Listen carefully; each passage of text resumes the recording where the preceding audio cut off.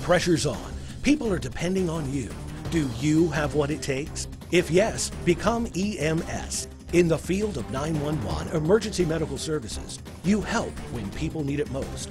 You receive comprehensive training. You gain life changing experiences. And you learn what you're really made of. Volunteer and career EMS providers are needed throughout Eastern Virginia. So if you've got what it takes, sign up today at becomeems.org.